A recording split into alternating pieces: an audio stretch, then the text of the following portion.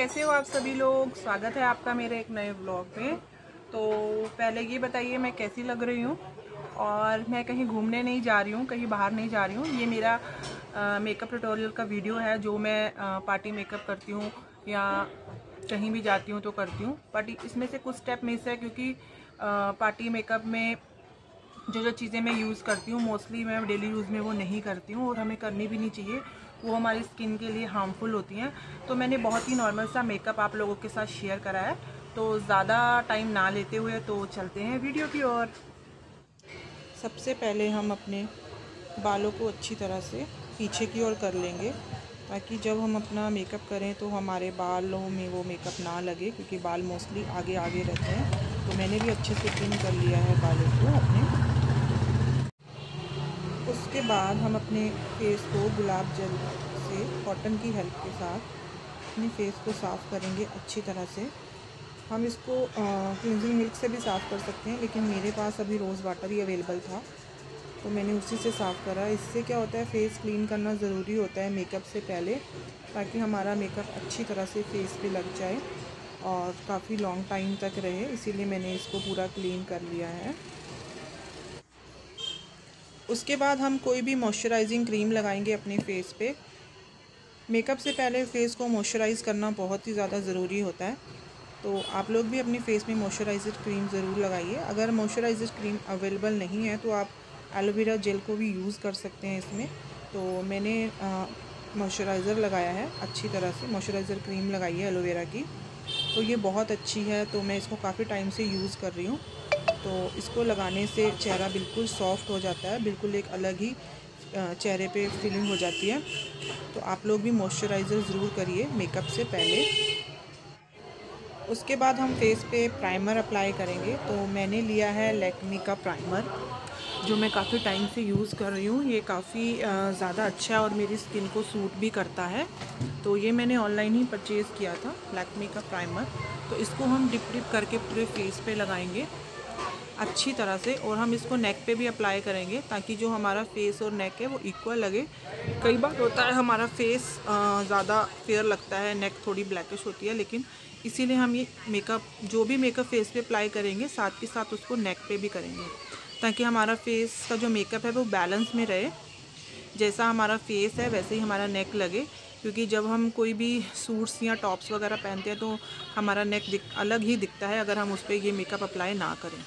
इसलिए आप लोग भी फेस पे भी प्राइम फेस और नेक पे प्राइमर ज़रूर अप्लाई करें।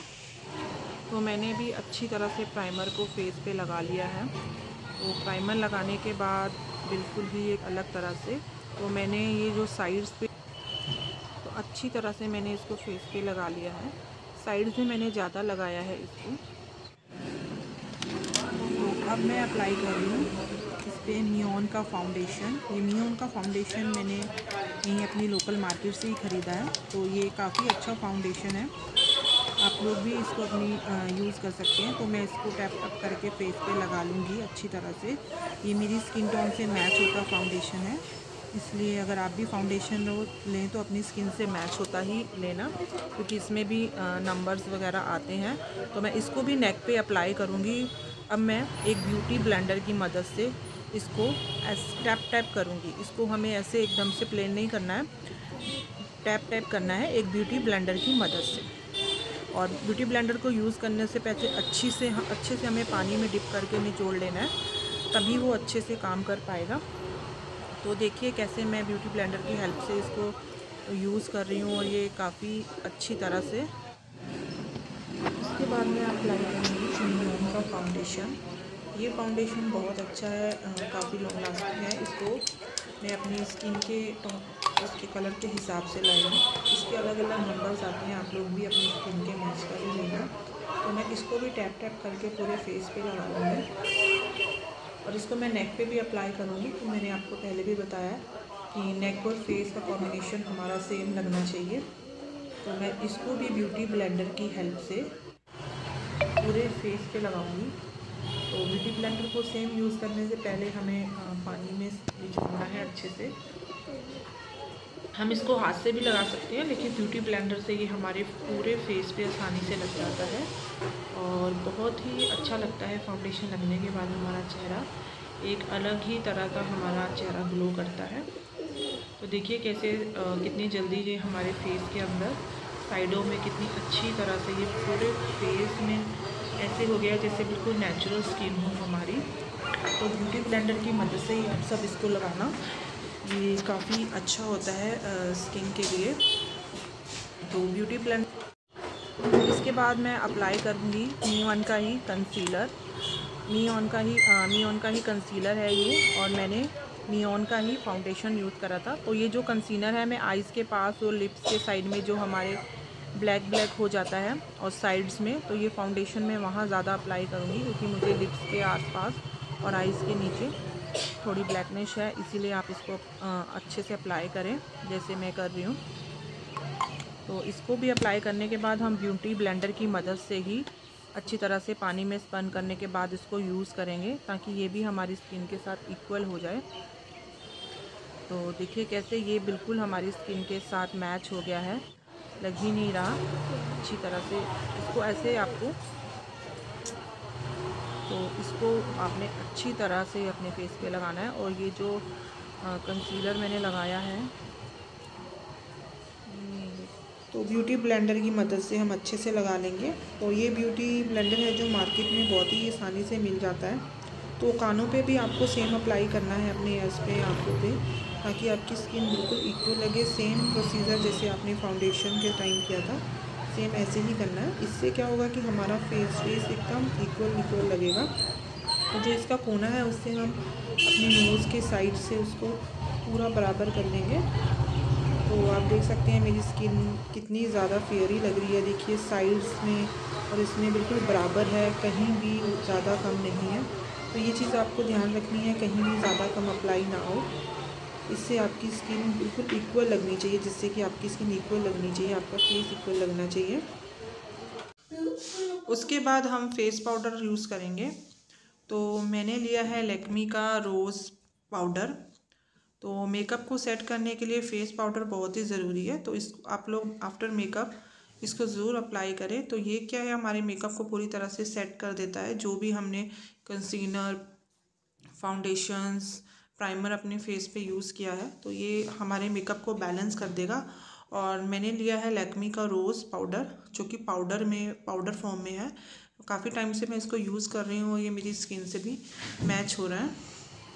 तो देखिए, मैं पूरे फेस पे अच्छी तरह से इसको अप्लाई कर रही हूँ, ताकि हमारा फेस जैसे पहले भी मैंने बताया था, जो भी मेकअप अप्लाई करें नेक पे भी, इसको ज़रूर अप्लाई करें।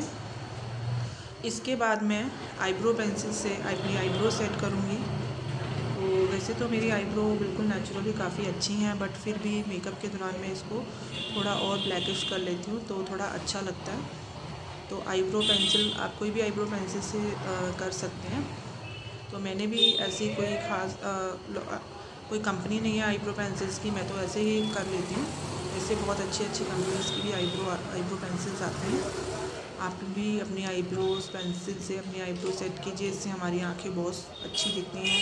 एक अलग ही शेप दिखती है हमारे फोरहेड की। तो इसके बाद जो भी एक्स्ट्रा हमारे आईब्रोज़ के ऊपर हेयर्स होते हैं, कुछ होते हैं, जो मतलब हमारी शेप के बाहर होते हैं, वो इससे कवर हो जाते हैं। तो मैं इसको यूज़ करती हूँ। इसके बाद मैं आई शेडो यूज़ करूँगी। ये भी मियान ऑन का आई शेडो है तो मैं इसको जैसे मैंने ऑरेंज सूट पहना है तो मैं उसके हिसाब से गोल्डन आई शेडो लगा रही हूँ, क्योंकि मेरे सूट पे गोल्डन वर्क है।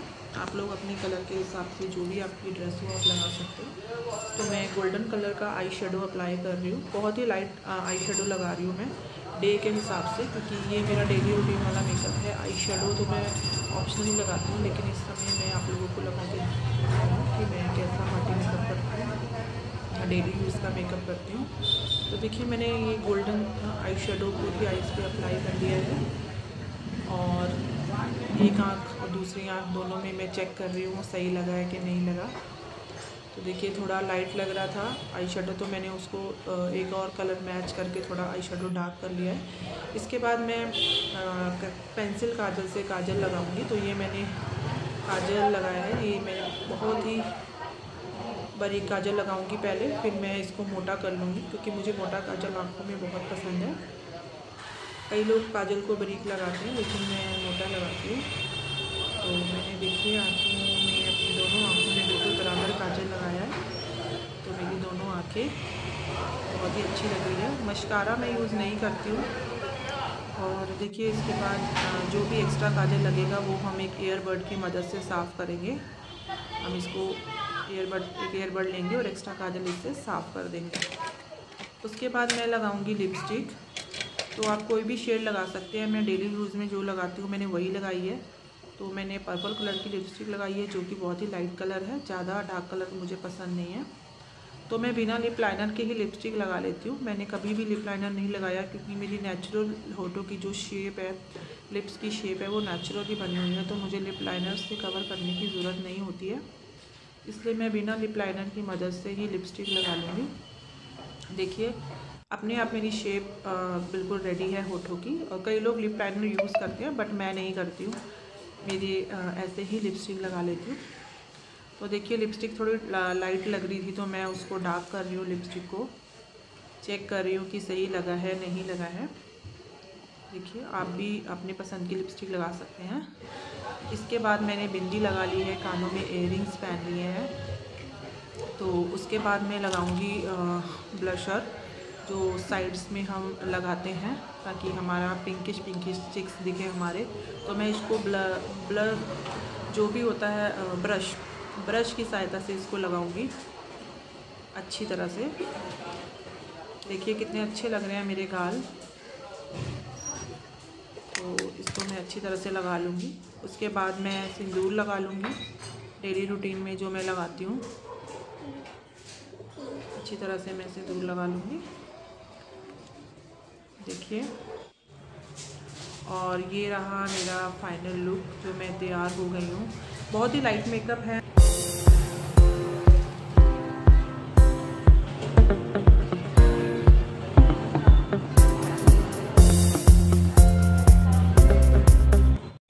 कैसा लगा आपको मेरा वीडियो कमेंट सेक्शन में ज़रूर बताना। मैं ट्राई करूँगी कि एवरी संडे मैं आपके साथ कुछ ना कुछ ब्यूटी टिप्स शेयर करूँ। I will try my best तो कमेंट सेक्शन में ज़रूर बताना आपको ये मेरा नॉर्मल सा डेली रूटीन वाला मेकअप कैसा लगा। और मेरे इयरिंग्स कैसे लगे ये भी ज़रूर बताना। तो जल्दी से जल्दी सब्सक्राइब करें मेरे चैनल को डू लाइक शेयर तो मिलती हैं आपको मैं एक नेक्स्ट व्लॉग में। और किसी को कुछ भी प्रोडक्ट के बारे में कुछ भी पूछना हो कि मैंने कहाँ से कितने का लिया कमेंट सेक्शन में ज़रूर लिखिए तो मैं डेफिनेटली रिप्लाई करूँगी क्योंकि ये जो सारे प्रोडक्ट हैं ये कंपनी के ही हैं। जैसे मी वन मी वन का मैंने फाउंडेशन लिया है लैक्मी का मैंने फेस पाउडर लिया है और लैक्मी का ही मैंने प्राइमर यूज़ किया है। तो इसके बारे में अगर किसी को कुछ पूछना हो मैंने कहाँ कितने का परचेज़ किया है तो ये बहुत ये चीज़ें बहुत आसानी से हमें आ, लोकल मार्केट से या अमेज़ोन से मिल जाती है। इसमें से कुछ चीज़ें मैंने अमेज़ोन से ही परचेज़ करी हैं कुछ मैंने नायका के ऐप्स पे जाके करी हुई हैं। अगर किसी को कुछ भी पूछना हो तो मुझे कमेंट सेक्शन में लिख सकता है। तो मिलती हूँ आपको नेक्स्ट ब्लॉग में, तब तक के लिए गुड बाय प्लीज़ मेरे चैनल को लाइक करें सब्सक्राइब करें एंड शेयर करें।